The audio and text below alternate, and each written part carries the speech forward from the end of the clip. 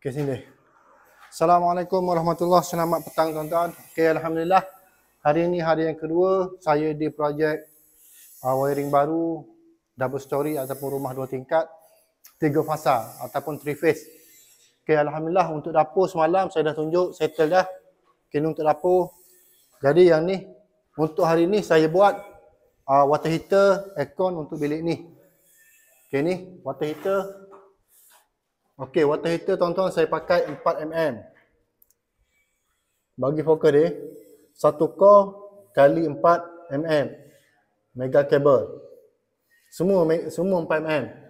Yang ni untuk lampu. Okey, ni yang ke water heater. Okey, semua 4. Lepas tu dalam bilik Okey, dalam bilik aircon aircon saya pakai 4 mm. Buka lampu dia kalau tak kita ni. Tak, tak ni, tak nampak.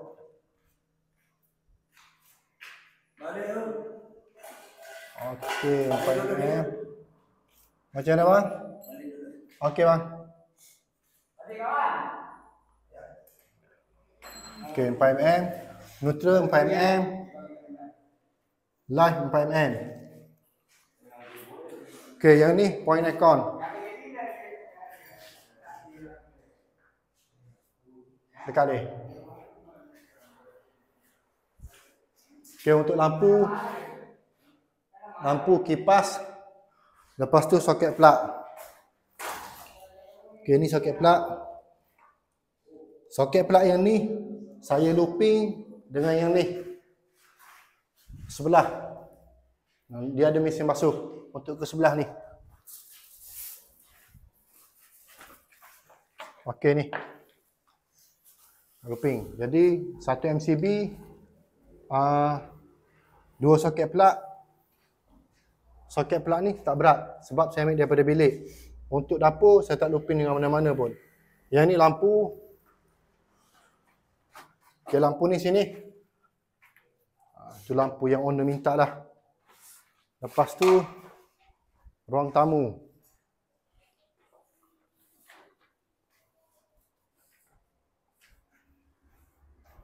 Sini. Untuk aircon saya tak sempat siap sebab kabel tak cukup. Okay, ni untuk aircon daripada DB, yang ni red. Okay, aircon saya pakai 4mm. Apa dia?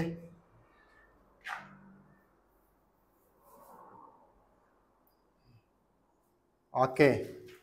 Okey tuan-tuan, sedikit ilmu ataupun perkongsian daripada saya. Ada ramai yang tanya saya, untuk aircon boleh ke pakai 2.5 boleh tuan-tuan. Sebab buku panduan dah tunjuk dah. Apa-apa rujuk buku panduan. Setakat 2 horsepower ke bawah dibolehkan lagi pakai uh, 2.5 mm dibolehkan. Uh, saya bagi tahu ni sebab berpandukan buku. Saya tak berpandukan apa ni kepala saya. Kalau ikut kepala saya aircon saya nak pakai 4 mm untuk aircon. Tapi kalau untuk water heater dia mesti 4mm minima. Water heater macam mana pun tuan-tuan kena pakai 4mm minima. Tak kira lah kabel tu mega ke, kabel tu sirim ke, kabel tu cak ayam ke. Dia mesti water heater 4mm. Jangan salah faham tuan-tuan. Dan satu lagi. Satu lagi ramai yang yang tanya saya sini. Okey, ni point soket plug. Yang ni point soket plug. Okey, atas aircon. Sesetengah customer atau pengguna dia tanya saya orang aircon ambil daripada soket plug supply. Boleh ke tak? Tak boleh. Untuk aircon dia mesti direct DB. Untuk water heater dia mesti direct DB. Uh, ah, apa lagi? Aircon tak boleh berkongsi dengan soket plug. Lampu tak boleh berkongsi dengan soket plug, tak boleh berkongsi dengan aircon. Tak boleh nak curi ambil dan tak boleh nak curi ambil daripada water heater, ataupun soket plug ataupun aircon. Setiap pendawaian untuk lampu, soket plug, water heater, aircon, apa lagi benda yang ada dalam rumah, dia tak boleh berkongsi. Litar cahaya dia lain, litar kuasa dia lain, litar arm dia lain. Sebab tu DB ni tuan-tuan, uh, sebagai wireman, dia kena fikir DB tu. Tak kira lah DB tu dia nak bagi ngam-ngam ke, ataupun dia nak bagi lebih. Tak boleh. Memang tanya saya pun tak boleh. Berpandukan buku ST pun tak boleh. Jangan ambil mudah. Untuk orang ekon jangan ambil mudah. Curi daripada soket plug, tarik untuk ekon. Tarik direct je senang. Macam saya tengok. Ini untuk ekon. Kabel bumi. Kabel bumi saya pakai 4 mm juga. Okey, ni tengok kabel bumi. Yes. Tengok. Ini 4 mm. Satu core kali 4 mm. Nampak jelas eh? Okey. Saya tak curi. Water heater tak boleh nak looping dengan aircon. Jangan sesekali looping. Jika tuan-tuan tengok rumah tuan-tuan, bila rosak aircon, water heater mati ataupun padam ataupun tak berfungsi, wiring balik untuk apa ni untuk water heater. Wiring balik yang mana lita bercampur. Dia tak boleh. Macam rumah ni, saya buat dah asing. Okey, ni kabel dia. Okey, ni untuk aircon blue. Yang ni untuk soket plug. Yang ni untuk soket plug. Yang ni untuk lampu. Mana water heater dia? Ni water heater eh? Ni 2.5 ni. Ni water heater. Okay, ni tengok. Yang ni dah settle. Cuma nak bawa ke DB saja. DB yang saya tak buat lagi. Sebab untuk ruangan ni tak settle lagi untuk soket plug. Mana lagi dia? Tak ada. Tak ada tuan-tuan. Jadi uh, apa lagi? Itu je lah. Saya selalu pesan, janganlah apa ni, janganlah berkongsi untuk satu-satu liter. Tapi kalau kalau tuan-tuan cari yang yang bajet, minta bajet, tu saya tak tak tahulah. Sebab wireman ni dia measure je, semua boleh. Yang penting dapat duit. Dapat duit, apa nak jadi selepas daripada tu? Pergi mampuslah owner rumah. Macam tu tuan-tuan, senang. Jika tuan-tuan cari yang apa ni, yang kualiti, nak yang terbaik, niat nak buat rumah, bukan setakat nak comel, nak nak apa ni, nak cantik, nak kemas, tapi nak wiring selamat, insya-Allah Allah akan ketemukan dengan dengan yang yang elok lah. Kalau yang jenis alamak wiring sampai 10,000, apa benda, ha, tuan-tuan mendapatlah. 5 ke 10 tahun, insya-Allah panjang umur akan boleh tengok wiring.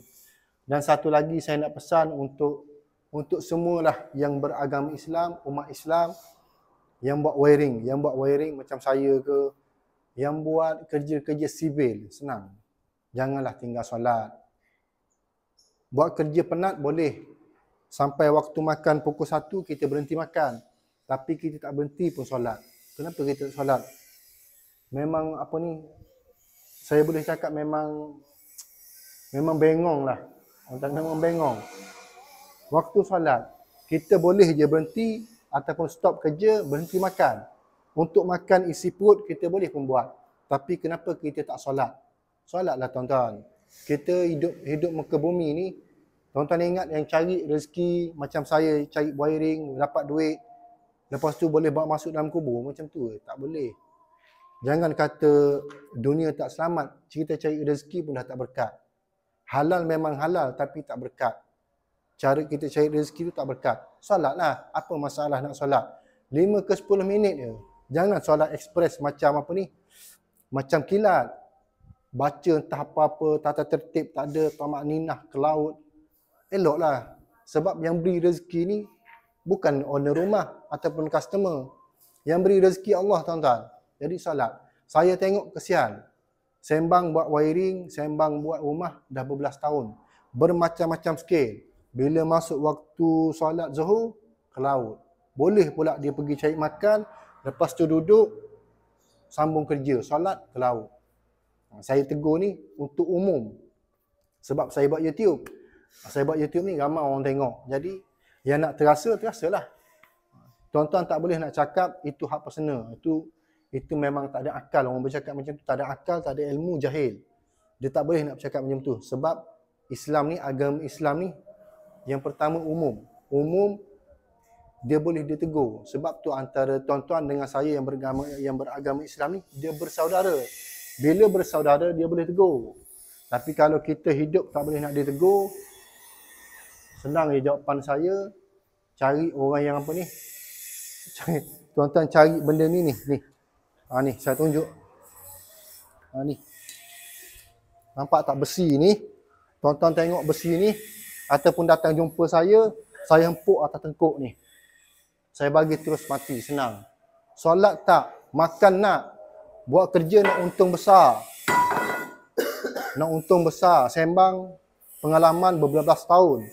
Hidup dah berpuluh-puluh tahun tapi tak solat. Tak malu ke tuan-tuan kita cari rezeki. Orang azan, kita apa ni, kita buat kerja, dengan tak hormat apa semua sekali fikir kena fikir eh. Ayat ni dah luar tajuk. Ha, dah asar dah. 439 dah asar dah. Jadi kalau saya tegur ke arah salat ni tuan-tuan kata kasar, saya tak nak minta maaf. Sebab yang tu wajib setiap umat Islam boleh menegur kepada umat Islam yang lain. Itu je lah. Tapi kalau bab wiring ada tutur kata saya yang kasar bahasa, ataupun tuan-tuan di luar terasa hati, saya mohon maaf. Tapi kalau bab solat, no say, minta maaf lah. Tak ada. Saya tak akan apa ni, saya tak akan minta maaf. Kalau bahasa saya tu kesat, saya tak akan minta maaf. Sebab solat tu semua kena solat. Lama dah tuan-tuan, video ni saya tak tak pesan. Jadi berkesempatan Allah bagi rezeki kepada saya, Allah bagi keberanian kepada saya, Allah bagi kesempatan kepada saya dapat buat YouTube. Bukan senang orang nak bercakap dalam dalam umum ni dalam media sosial. Jadi saya pesan lah daripada tuan-tuan duk tengok dalam TikTok berjoget tu, duk tengok yang tak apa-apa, ah, baik dengar saya bagi tahu ni solat. Solatlah lima waktu. Lima ke sepuluh minit je. Kalau yang jenis express, dua minit dah siap lah. Ha, kalau jenis express. Tapi kalau yang jenis betul, bacaan fatihah dia betul, mengikut uh, tertib, mengikut tamak ninah, insyaAllah 10 minit siap dah. Tak nak doa sudah, dah sombong sangat. Tak payah berdoa. Tapi solatlah tuan-tuan. Kita kerja penat, Allah bagi rezeki. Apa ni? Allah bagi rezeki, Allah bagi kesihatan, Allah bagi kita tenaga, boleh kita buat kerja. Tiba-tiba tak solat. Memang, memang apa ni? Memang memang bengong lah, senang. Saya bagi tahu bahasa kasar memang bengong lah. Itu je lah. Kesian saya tengok. Jadi itulah tuan-tuan untuk hari ini. Untuk adik-adik yang baru buat wiring, pendawaian buat secara jujur, bertanggungjawab.